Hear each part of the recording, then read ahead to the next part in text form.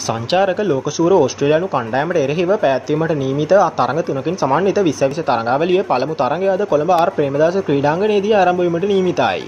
කෙසේ වෙතත් අද තරඟයට වර්ෂාවෙන් බාධා ඇති විය හැකි බව කාලගුණ වාර්තා සඳහන් කර සිටිනවා. අද තරඟයේදී යෝන් පිතිකරු පැතුම් නිස්සංග සමගින් ශ්‍රී ලංකා ඉනිම ආරම්භ කිරීමේ වගකීම ධනුෂ්ක ගුණතිලකට පැවරී තිබෙනවා. ඊට අමතරව බානුක රාජපක්ෂද කලකට පසුව ශ්‍රී ලංකා නිල ජයසියෙන් සැරසීමට නියමිතයි.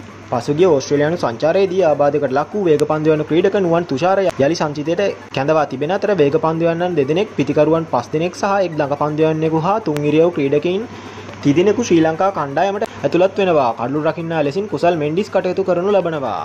දසුන් ශානක නායකත්වයේ දරන අද ක්‍රීඩා කරන ශ්‍රී ලංකා කණ්ඩායම මෙලෙසයි. පැතුම් නිශ්ශංක ධනුෂ්ක ගුණතිලක චරිත් අසලංක කුසල් මෙන්ඩිස් බානුක රාජපක්ෂ දසුන් ශානක වනිදු හසරංග චාමික කරුණාරත්න දුෂ්මන්ත චමීර මහිස් තීක්ෂණ නුවන් තුෂාර අද තරගේ මෙරට වේලාවෙන් රාත්‍රී හතට ආරම්භ වීමට නියමිතයි. ඉතින් මෙවැනි තොරතුරු දිනපතා දැනගන්න අපේ නාලිකා පදම සබස්ක්‍රයිබ් කරන්න.